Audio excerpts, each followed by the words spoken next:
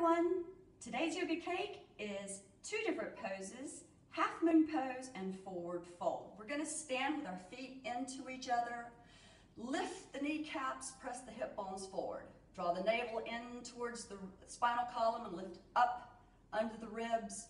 Relax the shoulders, elongate the spine, elongate the neck. Inhale, arms up overhead, hands together.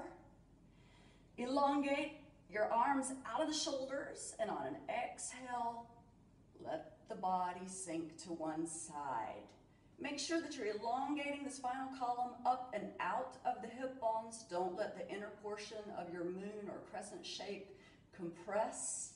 Notice that the shoulders are on top of each other, facing forward. Don't let them sink down towards the floor. Hold this pose for 10 complete breaths. Every inhalation, stretch the body even more. Every exhalation, let the body sink even closer to the floor.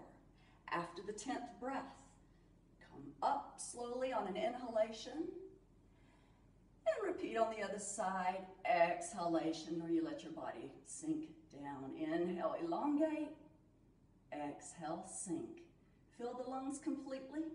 Empty the lungs completely. Equal inhalation as exhalation. Focus on the breath.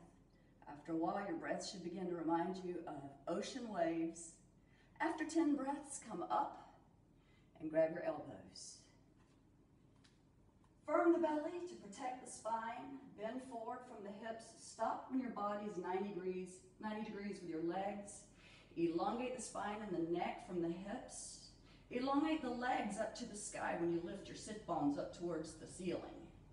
The belly area is firm to protect the spine. Hold this position for 10 breaths. After 10 breaths, let your body hang from the hips just like a marionette puppet, a rag doll, forward fold. It's even known as rag doll pose.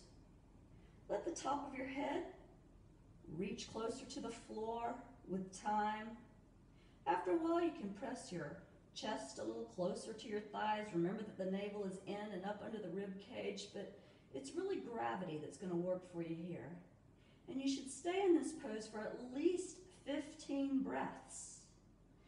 Fill the lungs completely, empty the lungs completely, focus on the breath.